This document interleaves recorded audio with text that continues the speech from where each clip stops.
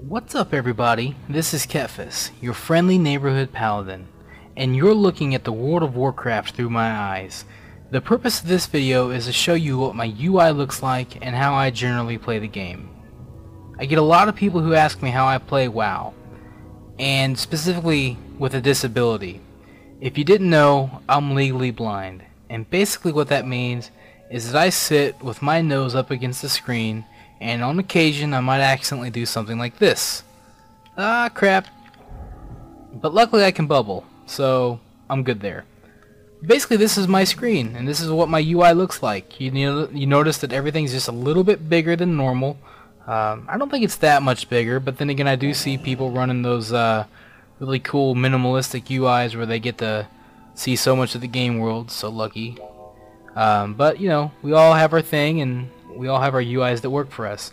So there you can see the size of my tooltips and generally you just see how much things are bigger for me than than probably what what you would normally use as uh, in general. Um, see things like my blips are a lot bigger um, and you know my font my my my Prat chat add-on is is a lot bigger and you're hearing um, my chat sounds go off for for different chat channels that I use.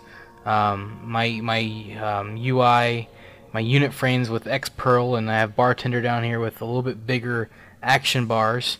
And um, and yeah, that's basically it. You know, the goal here is to is to minimize eye strain, and so that I have to make sure that my fonts in general are a lot larger than normal to make sure that I can see the game clearly and see all the information without squinting my eyes. You know, when you play WoW, you tend to play it a lot so so I have to make sure that that I'm seeing things clearly and and and not straining my eyes too much. That's very important.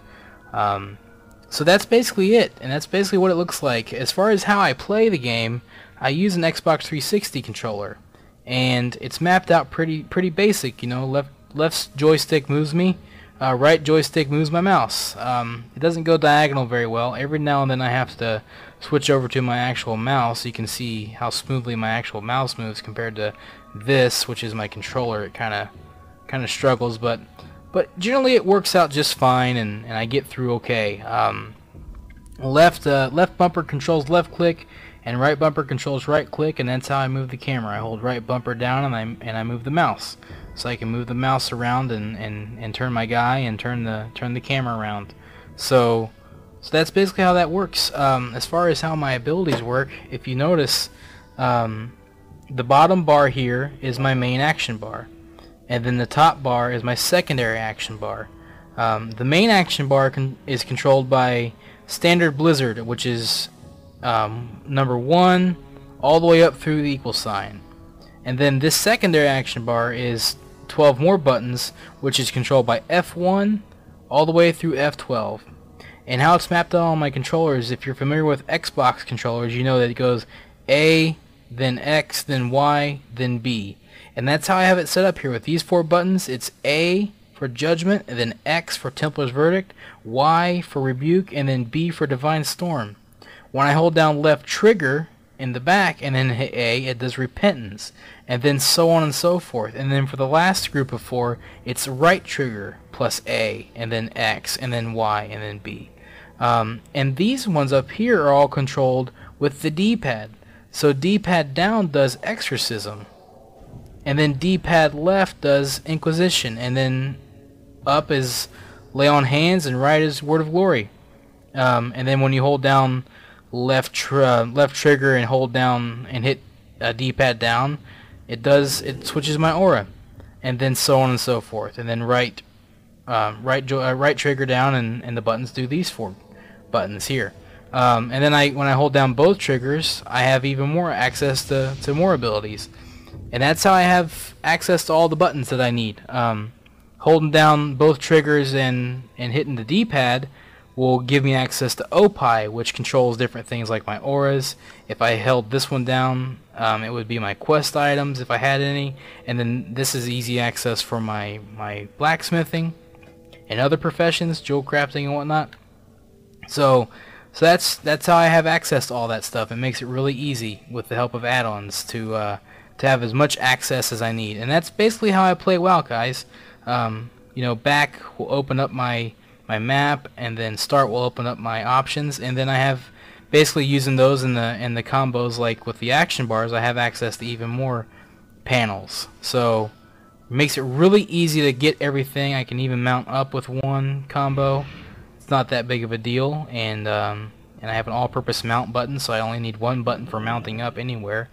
Um, and that that's basically it. So here's a little bit of what combat looks like for me. I use uh, I use a lot of macros. If you're looking, you can see the uh, my holy power um, bouncing around there to let me see it easy. Um, below my around my feet, you're seeing a little squiggly line. That's actually an add-on similar to power auras called weak auras, and it basically it's for Inquisition. So as that squiggly line is going down, it's letting me know that my Inquisition timer is going down. So that lets me know when I need to pop that back up. The little icon above my head is an add-on called Destruction for Dummies, and it's good for all classes. It basically shows um, what abilities you need to be hitting next on list. Um, and I don't follow it perfectly all the time, but it's really just there to make sure that I'm hitting my abilities and that my macros are are lining up properly and I'm doing the best I can with with uh, with my rotations or uh, priorities and whatnot. So so that's how I do it. This is what combat's like for me. This is how I play World of Warcraft. Um, and this is for those of you who are who might have been interested. So I hope you enjoy this video and I hope it just gives you a little bit of insight on what it's like for me playing World of Warcraft. Um, if you have any questions for me about this, feel free to ask. Give me feedback. Uh, you know, let me know what you think. If you'd like to see more videos like this or anything from me, uh, feel free to ask. You know, let me know. Um, and I will say this, you guys. This is this is to AIE.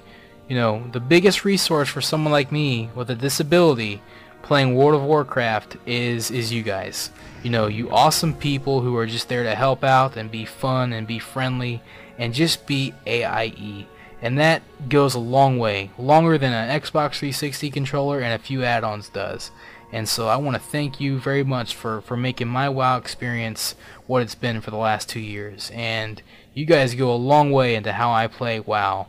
So thank you very much guys. Stay awesome, stay AIE, and have a good day. Thank you.